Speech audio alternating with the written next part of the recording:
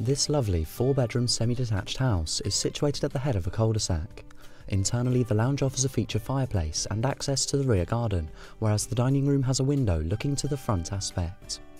The dining kitchen hosts a range of wall and base level units, windows to the side and rear aspects, and opens to a dining area with access to the side. In addition, there are four bedrooms provided, with the master enjoying a view overlooking the rear garden. Finally, the three-piece bathroom suite includes a panelled bath with a shower over. For more information, please contact Whitegates today.